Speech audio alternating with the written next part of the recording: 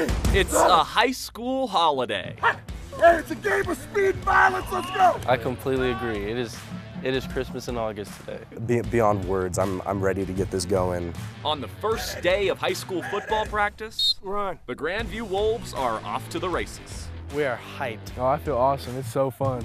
It's so fun. Our whole 4x1 team's on the team. Our whole 4x2 team is on the team, and we won state for both of those, so So it's safe to say you guys are a really slow team. huh? yeah, something like that. With 11 athletes from their state championship track team on the gridiron, the Wolves enter the fall victorious.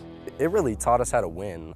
We, we're going to bring that energy with us from track into this, and that, that winning mentality is going to be really important. Now, every team hopes to bring energy to the practice fields, but Grandview's secret weapon is their extra Yeah, bring it in. Ah! Let's go. Han Shaw moved this summer from Alaska, and the Hawaiian brought his Haka hype to Aurora. We got the It means a lot to be accepted like that out here.